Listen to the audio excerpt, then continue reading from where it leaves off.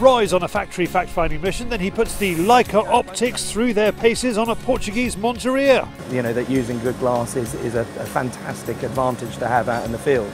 Plus, Paul Childerley goes all Zorro on us with a lesson on how to cape a Chinese water deer ready for the taxidermist. Shooting, stuffing, hunting, YouTube, Field Sports Channel news. Welcome to Field Sports Britain.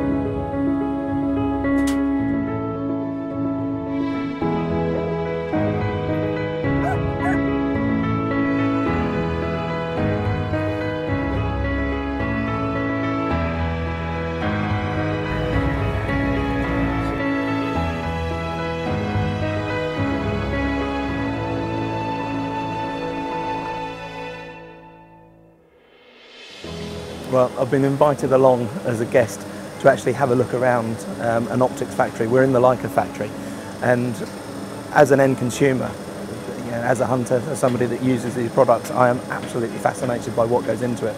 Because, you know, obviously when we buy optics, we, we always try and invest in the best possible optics that we can get. But what makes those products worth that investment? And that's something that I've always been fascinated by because obviously we all realise you know, that using good glass is, is a, a fantastic advantage to have out in the field. And it's just unbelievable how many hours are involved in producing the, the, the finished product.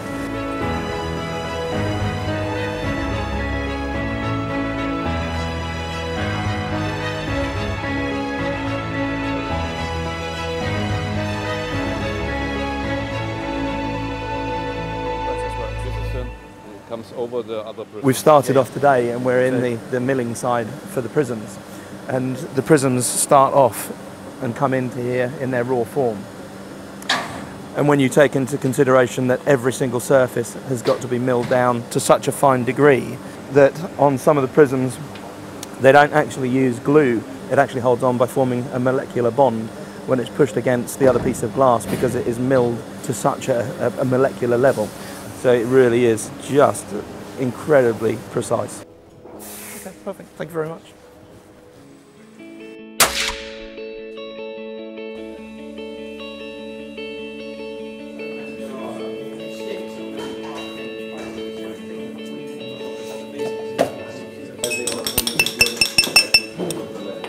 Please, gentlemen, could I have your attention a minute?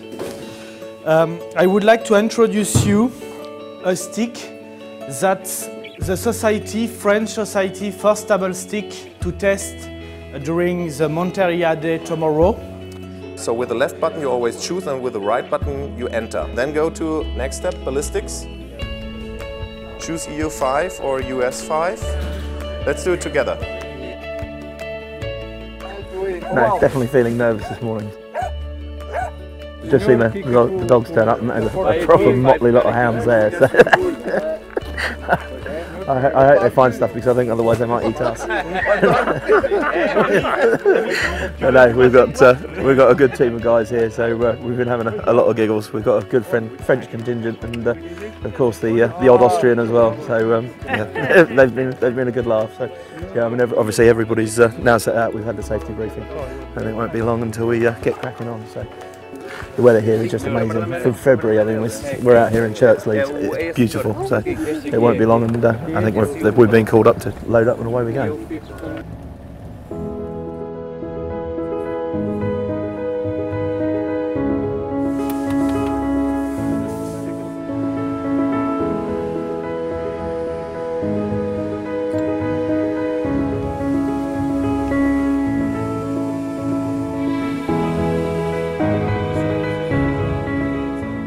So we've moved from the lenses and we've come over to the, the manufacture of the, the magnesium body for the GeoVid.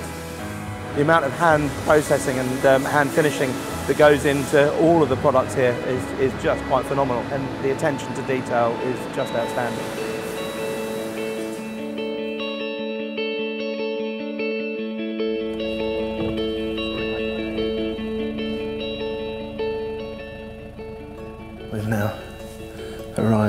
Hunting ground down in Portugal and as we were dropped off there were two stags just up on the hill. Uh, we couldn't get the rifle out of the truck quick enough to begin because as soon as you're dropped off on the stand then you're live to go. So it's, uh, it really does just kick off as soon as you start. We're here for four hours I think so hopefully we'll, we'll stand a good chance but we can be we've got distances out here that we're shooting out to about 250 metres or we can shoot at 250 300 metres so what I'm going to do is we're just going to take the, the geovids have a quick scan through just get some ranges. We set the rifles up yesterday and we've set out the program with the geovid system on uh, the click values of the scope. So it gives us a click value in the uh, the front of the um, geovid so we'll click it get the range. And then if it is a bit a bit of a way out then we can click it in.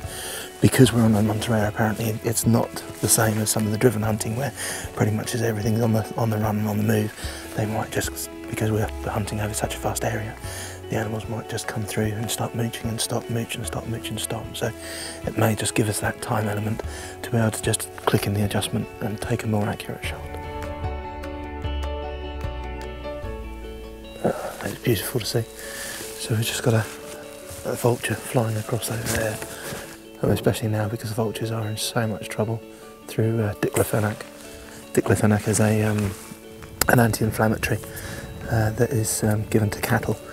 And what happens is it stays in the, the, cattle system if the cattle die and the vultures come down and feed, in, feed on it. It's absolutely lethal to them. So we've, um, we've lost over 90% of our vultures worldwide. Uh, so yeah, to actually have the privilege of seeing vultures flying around still is wonderful.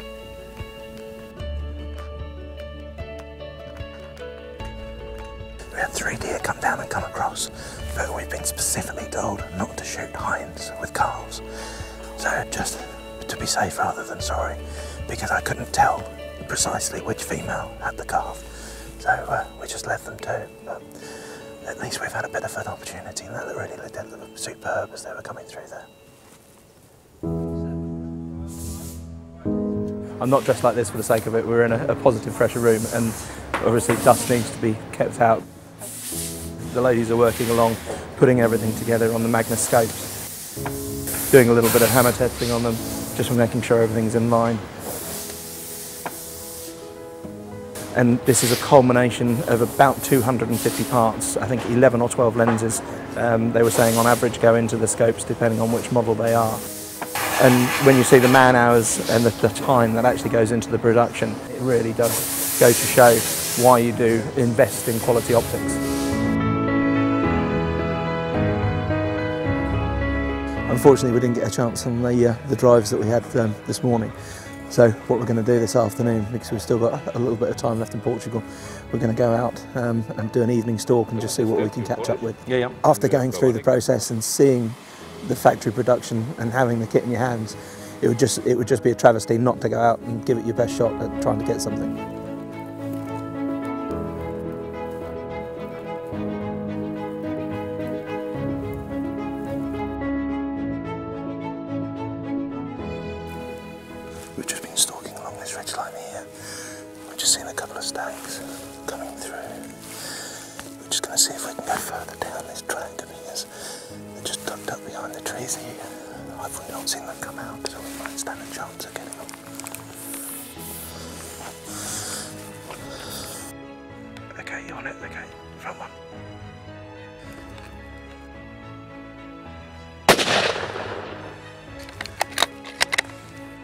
It was a good hit when we saw the, the stag run. So we just need to get in there now and uh, try and find them. But again, in conditions like this, we haven't got a, uh, a dog, although they've got dogs back at the farm. So if we need to, I'm sure we can uh, go and get one. But hopefully we can get on the blood spoor quickly and follow it up.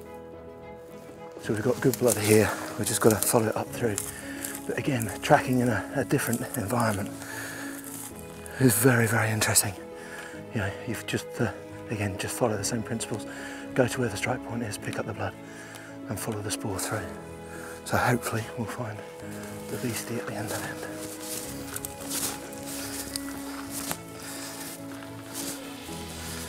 Yeah, in front.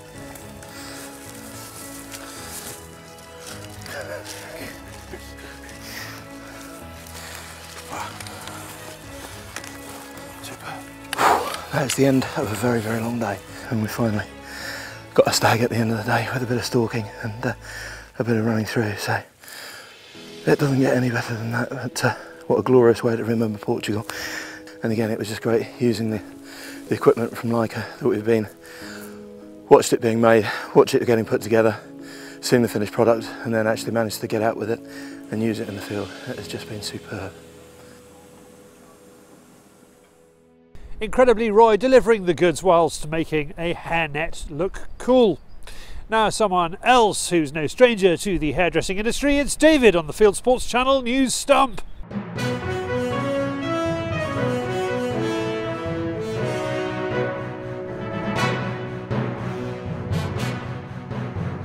This is Field Sports Channel News. Have you ever fallen off out hunting? If so, you could win some champagne. For the third consecutive year, the National Hunt Tumblers Club competition invites photos of falls taken during the past hunting season. Sponsored by Champagne Pol Roger and the Countryside Alliance, it's open to entries until the 1st of March 2017. Field Sports Channel has been making headlines in the national press. It started with both the Mirror and the Mail online, running our story and, of course, our footage of Roy's Goldie in Scotland. And then last week, the Evening Standard ran the story about Alfie being shot in the Pigeon Hide. Scottish shooters are reeling, but not to music. They've been slapped with two pieces of bad news in the last week. In one, the Scottish Government has brought forward plans to tax shoots. In the other, the Scottish Government plans to licence shooters. So, what's the going rate for a stoat? £250,000 apparently. The Orkney Stoat Eradication Project has reported its results. Two stoats caught for half a million quid. 52 volunteers were trained and issued with Magnum body grips traps with wooden or metal mesh tunnels. None of them caught a stoat. An image of a dead feral cat in a trap has led to death threats for one pest controller.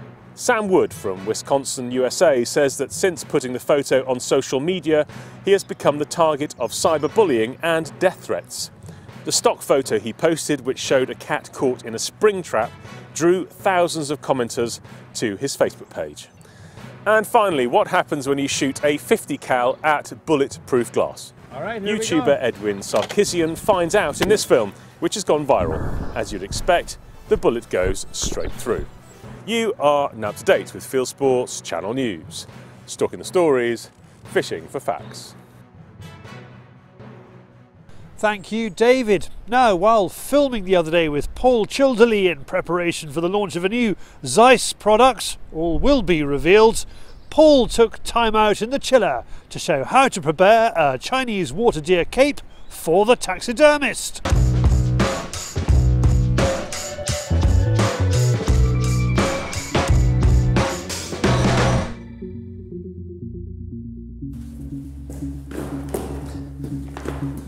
Okay, so what we're going to do is uh, cape out this young buck. It's quite handy to have a few spare capes. It's a little bit damaged at the front, but we'll still cape it out anyway. And I'll go through sort of what I do for caping, which suits me best for the caping. And I've never had any complaints from any taxidermists, so I think it's like works for them as well. So hopefully it'll all go go to plan.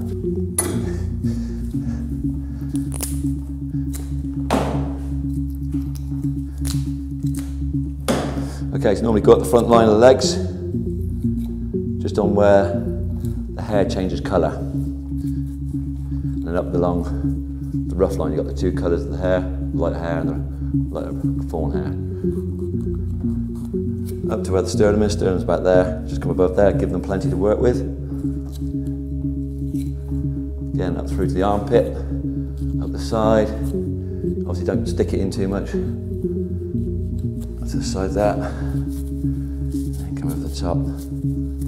That gives him a good front part of the shield There,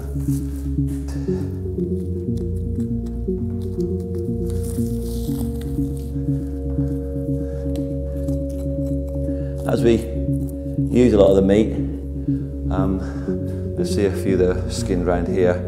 Um, we're actually going to do a full skin um, just because it's a young animal, perfect for eating. So again, do a full skin on this one, like hot butter. Just a big fan of your, your knife. Super, super fan. Um, and just for the fact that it is what it says on the tin. Stays sharp, it's man enough for the job. It's not a massive looking blade, but I put it under some serious punishment and every time it comes through. But yeah, no, I have no complaints at all. Apart from wish I had one about 10 years ago or 20 years ago. Yeah, yeah, honestly. I mean, I've, I've had quite a lot of night. Obviously, doing the job I've done with my father all through the years, I've been a big fan of collecting knives and going through all the different makes of knives. A few custom builds. There are some good, good custom builds out there. Don't get me wrong, but um, what's good for the job, you know. Yeah, and when I first used it, amazed. You know, you could be leave a, a dirty knife in the sheath and it'd come out a quick wash and it'd come back to uh, being fresh and new again.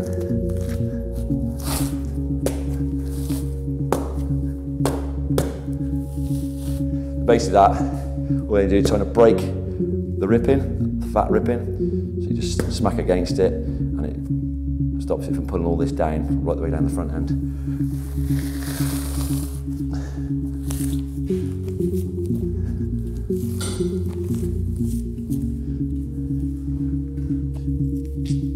What actually taxidermists do, this is a bit of a hole in there, but which you can do as well. The taxidermists obviously stitch them up through the back here, um, behind the base of the uh, skull there, through to the side, top of the shoulders. That's their main stitch line.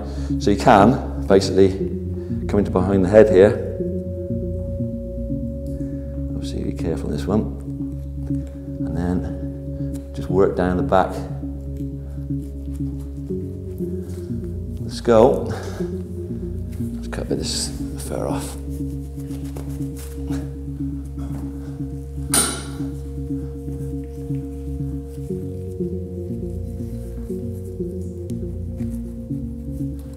And then we'll actually go over top of the head.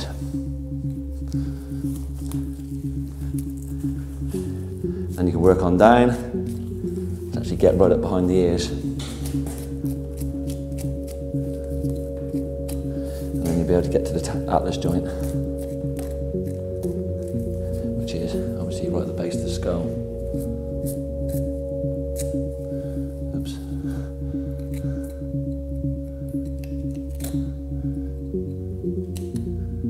You see that there? Not, no pressure at all. You know, that's, that's the classic thing. If you can't find the right area, it's no good hacking into the bone because you'll never get through. All it is, just find the right spot, not hardly touching it, going through. See, not hardly touching anything. There's no pressure needed. All the way around the meaty part first, and obviously got the, the yucky part off and done. And turn it inside out.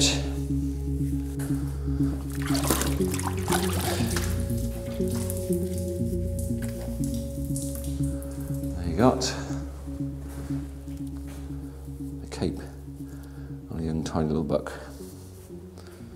Thank you, Paul, and we'll have more from him at Ewa in next week's show.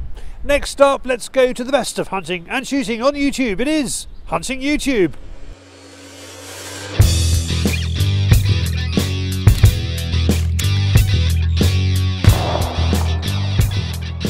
This is Hunting YouTube, which aims to show the best hunting and shooting videos that YouTube has to offer. It's billed as an unexpected journey, and it's got no hobbits. Viewer Richard Kavanagh sends in a charming tale about how Glen Farm Gun Club in County Leitrim in Ireland has brought back grouse to local hillsides. Lots of dreamy photography in McNab Challenge 2016. The Field magazine and Pol Roger Champagne turn the cameras on Harris in the Outer Hebrides. Six people, one day, but did they do it? The McNab, that is. We went on the Zeiss media hunt in November In English, here's Ulrich Oskopf's film about the driven hunting event in one of Germany's most productive forests, which Ulrich describes as fast food. The superb 260 Rips is back. Filmed back in November, he's on a farm in the south of England controlling foxes, which is what he does best. Meanwhile, Robin Foxer, admin of Facebook's Foxing That's All page, has put up a selection of foxing clips with a variety of night vision setups. 54 foxes shot. Here is a trailer for a thought provoking documentary that shines light on the people, the land, and everything that lies behind the supermarket shelves. Filmed in New Zealand, Meat is the modern story of the animals we eat and includes hunting. On the more sporting side, Waffenland TV is out after Mouflon in Slovenia. Glorious landscape and a good shot. And finally, one of America's biggest fishing channels, Lunkers TV, is hunting in Africa, showing fairly hopeless gun safety, but interesting filming. They are after Plains Game. That's it for this week. I've put all these films into a playlist for you. Click on the link or go to bit.ly slash hunting YouTube 379. If you have a YouTube film you would like us to pop into the weekly top 8, email me the link, charlie at fieldsportschannel.tv. Another lovely film on YouTube, our own Field Sports Africa, is out this week. The South African dynamic duo Rich Leonard and Matt Dubber are in this month's episode of Field Sports Africa. They're controlling porcupines which dig up and chew through the drainage pipes on a permission, plus hares for the pot. Click on the link on the screen to watch that. Or if you haven't done so already, go to our website where you can subscribe to us on YouTube, you can like us on Facebook, you can follow us on Twitter, or you can pop your email address into our register page and we'll contact you about this show, Field Sports Britain. It's out 7 pm UK time every Wednesday. And this has been Field Sports Britain. Good hunting, good shooting, good fishing, and goodbye.